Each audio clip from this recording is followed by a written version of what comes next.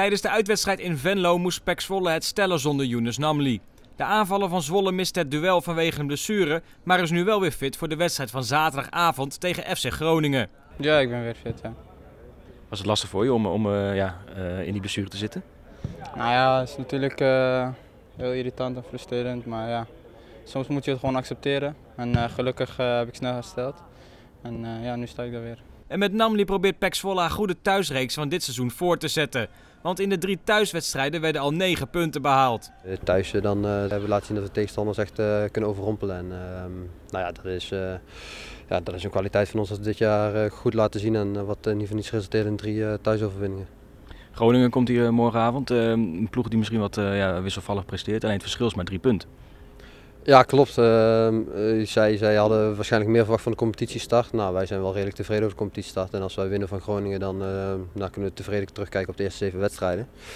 Uh, maar ehm, ja, wat je zegt, ehm, het verschil is heel klein. Je ziet het afgelopen weekend in de Eredivisie was natuurlijk knotsgek met allerlei ploegen die winnen waarvan je het niet verwacht. En uh, nou ja, dat zorgt dat, dat die verschillen altijd heel klein blijven. En daarom moeten wij, moeten wij ook gewoon eh, blijven winnen, ons, ons eigen spel spelen. En, ehm, en in thuiswedstrijden ehm, nou, hebben we dat laten zien dat we, dat we dan heel veel tegenstanders de baas kunnen. Nou, Groningen kunnen wij ook de baas zijn. En ja, het enige is, het afgelopen jaar dat ik hier speel tegen Groningen had over het algemeen niet zo'n hele goede resultaten. Met FC Groningen treft Zwolle de nummer 11 van de eredivisie. Het verschil met de ploeg uit het noorden is drie punten. Wat verwacht je van die wedstrijd van morgenavond? Ja, ik verwacht dat we weer, uh, dat we weer gaan controleren en weer uh, willen laten zien dat wij dominant zijn. En uh, ja, dan hoop ik en geloof ik dat wij, dat wij die drie punten pakken. Op welk gebied kunnen jullie het verschil maken?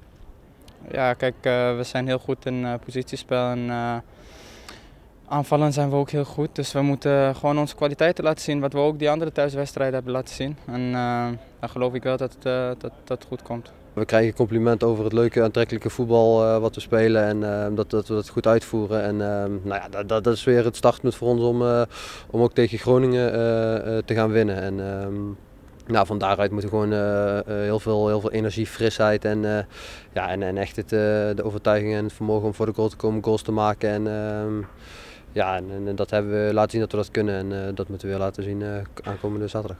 Bij Groningen spelen een aantal oude Zwolle spelers. Is dat een, een, leuke bijkomstigheid dat je die allemaal weer treft?